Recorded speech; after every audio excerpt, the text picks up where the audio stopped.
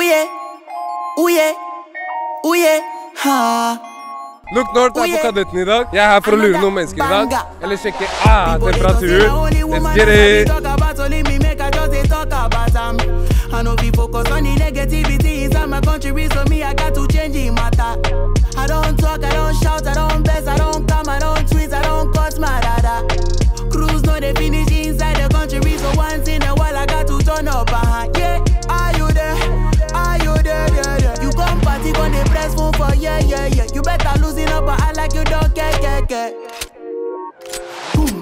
bra waves, ass. Halvveis. Bro, jeg har bare vanlige krøller. Jeg heter Ruth Paul. Ruth Paul. Ja. Hyggelig. Gosla. hyggelig. Big Zino, Big Zino. Whisky Records. Jeg heter Nora Mamdu. Hyggelig. Ja, og så Mamdu da som DJ. Yeah. Ja. Bare Du kan si Instagram-atten Nino, så Jeg kan putte den her. Og at. Nora Mamdu. Get that. Hva skjer da, brødre? Du har to drinker, du har én drink. Slapp av. Vannet det kommer snart. Drikke vann. Stay hydrated. Jeg går aldri på festival. Det her var en bursdagsgave. Så jeg vet ikke hvem som skal spille engang. Fra venninna di. Nei, jeg har, jeg har lillebror og masse venner kjøpte for tre år siden, to år siden. Vi har, det er mange her som har cancela i dag. Cancel, det er det, da.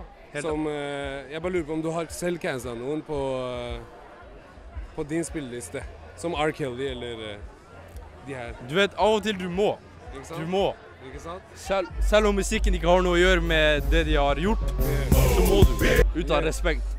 Er veldig lett å ikke bli cancela, bare ikke være liksom en pedofil, en rapist, liksom en racist, en homofob. Liksom, det, er, det er ikke så vanskelig, da. Det er ikke så jævla vanskelig. Bare stay in your. Hvis det er vakkert, det er vakkert. R. Kelly, det han gjorde var fucked up, men at the end of the day Nei, gi faen. han er- Hva skal ikke livet? Jeg vet ikke, ass, bro. R. Kelly hører ikke på ham, men det er fordi Men er det pga. situasjonen? Nei, nei, nei. nei. Okay. Det er bare fordi, du vet, han er ikke i katalogen min sånn der. I don't give a fuck, man. Musikk er musikk, bror.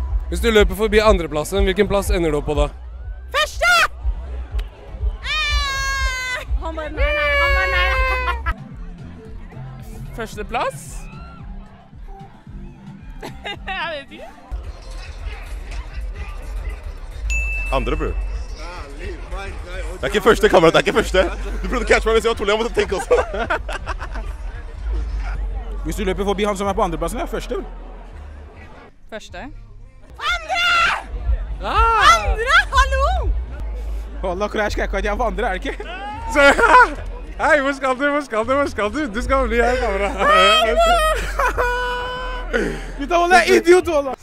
Hvorfor ler han av deg bak kamera? Å ja, du er på andre, faktisk. Ja. ja. Det går bra, det. OK, OK. ok. Der. Hadde du cheata på mannen din, eller snitcha på din bestevenninne og gitt henne 21 år i fengsel? Og du skal bare cheate én gang. Jeg vil ha snitcha. Jeg, Ja, jeg, jeg takler ikke utroskap. Jeg hadde cheata på eh. Nei, hva heter det? På karen din. Ja, ja. Han får deale med det. Hmm? Han får deale med det. ja. Han skjønner det. Skal jeg passe brorsan 21 år? Can do that. Sorry, babes. You gotta go. One time and one time. Na, na, na, na, for life. Wallah, jeg elsker deg bror, jeg må. 21 år, er du da? Hei, bror. Du ser ikke meg da. Vent, vent, vent. vent. I plead the fifth. Gå- Gosh og Jewel skal sone i samme celle.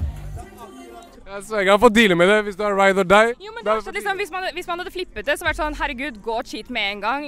Kompisen Så du hadde lagt- det, Ja, så hvorfor skal vi ha kompisen hans lagt opp i 21 år fordi at han ikke skulle cheate? Det er bare sånn Helt ærlig, liksom. Han kommer fortsatt til å være glad i meg, selv om han gikk og reddet kompisen sin. Det har ikke noen ting med det å gjøre.